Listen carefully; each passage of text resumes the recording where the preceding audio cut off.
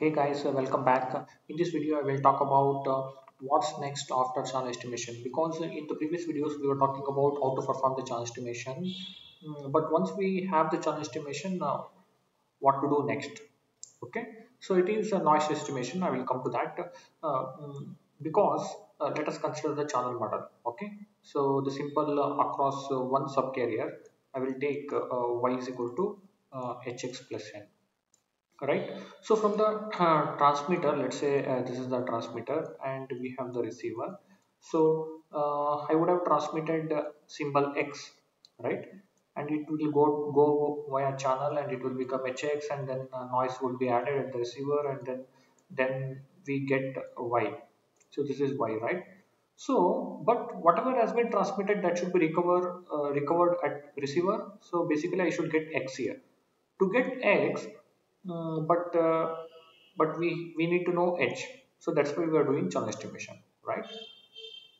So we didn't uh, uh tell anything much about noise but we will we will try to see you know why do we need even noise as well? I mean noise estimation. Okay? So first to perform the channel uh, we saw that in the in, in the in the beginning of this series uh, we need to know this even x. So we call this as x uh, pilots right? So for now what I will do I will consider the OFDM grid. Okay. In the OFDM grid as uh, I was always mentioning you know we have multiple symbols and uh, it will go up to 14 symbols for one slot right? This is a OFDM grid. So this is in case of 4G or 5G okay? Now um, to do channel estimation h across one symbol. So i have taken the example of the third symbol where we can transmit the pilots. Okay as per uh, 3gpp specification we call it as uh, dmrs now the thing is uh, um, i will just take a different color.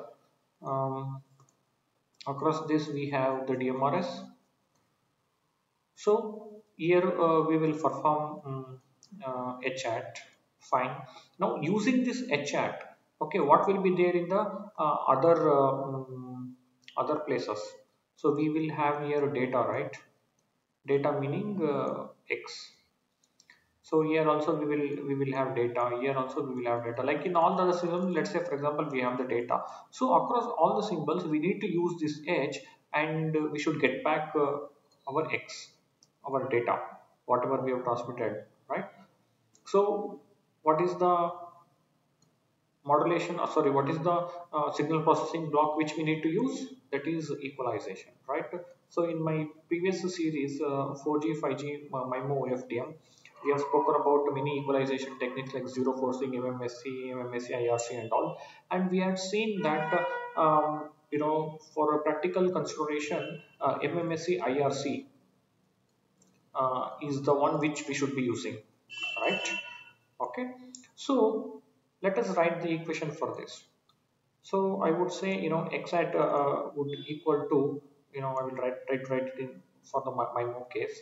Um, you know h Hermitian h plus rnn okay whole inverse uh, h Hermitian into y bar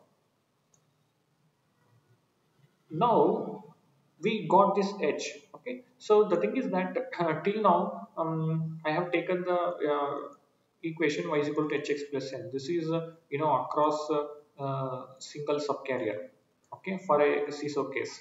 But in, in the upcoming video let me you know talk about um, MIMO channel estimation how to do that what are the strategies used all right so in which case how does it become y is equal to hx bar plus n bar?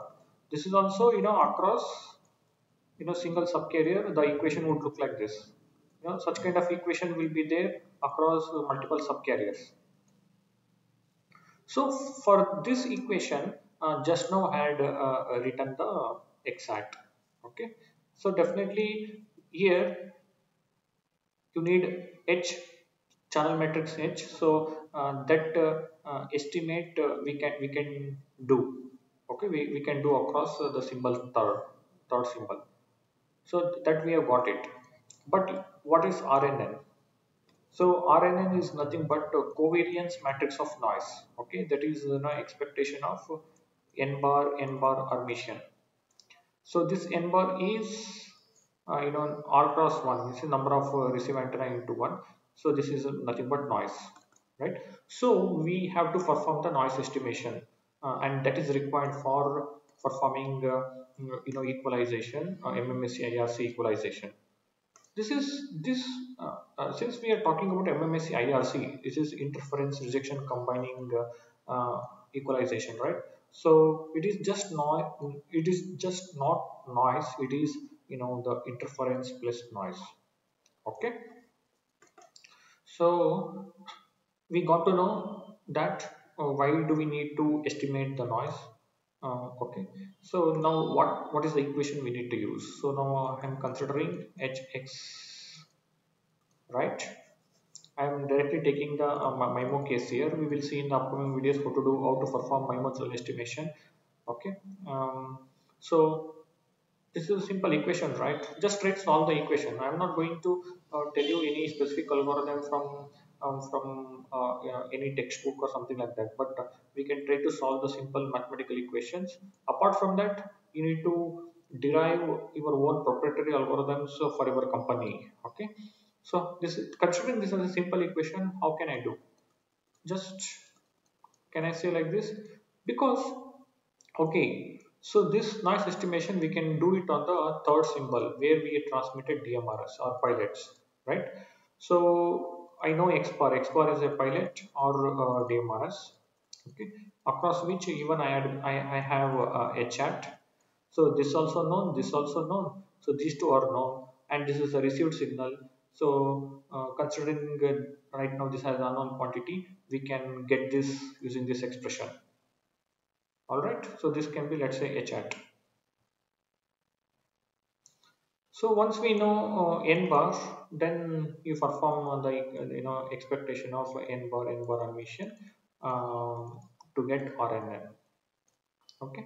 Once uh, you get this one and using uh, even the channel estimation uh, uh, you can go back and perform your MMSE IRC to get back your data x bar hat.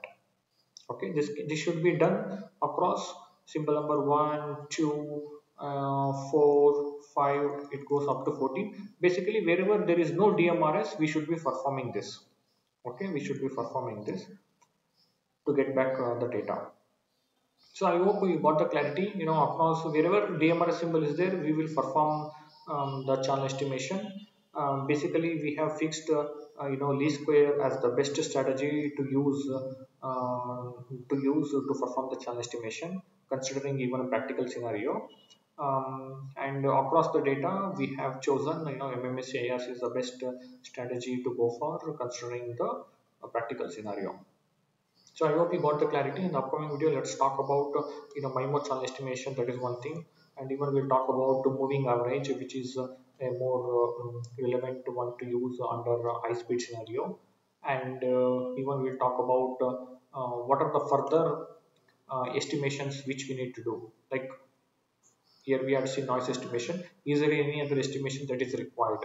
And uh, what is the purpose of uh, that estimation? Okay thank you very much. If you're looking for more videos please do subscribe to the channel. Have a great day. Bye.